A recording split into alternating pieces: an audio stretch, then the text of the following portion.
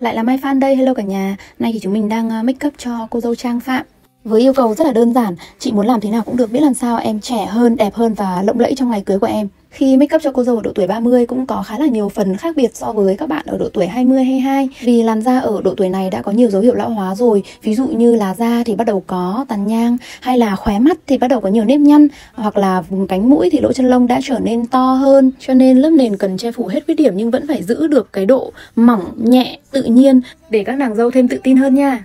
Và điểm nhấn được tập trung vào đôi mắt với cặp lông mi tàng hình, gắn mi mà tự nhiên như không gắn mi vậy đó. Tiếp theo là một đường eyeliner mảnh nhẹ để cho đôi mắt được trở nên sắc sảo hơn.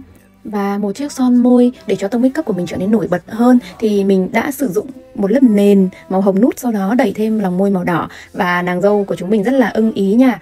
Thêm một cặp lông mày gầy sợi nữa vậy là cô dâu của chúng mình đã rất xinh đẹp rồi. Tất nhiên là không thể nào thiếu đi một mái tóc được búi cao nhẹ nhàng giúp cho khuôn mặt cô dâu càng trở nên thon gọn hơn. Khúc này là nàng đang rất là hài lòng với layout makeup của Mai Fan rồi nè. Cảm ơn nàng đã tin chọn My Fan Makeup Artist cho mình trong ngày trọng đại nhất cuộc đời nha. Chúc hai bạn trăm năm hạnh phúc.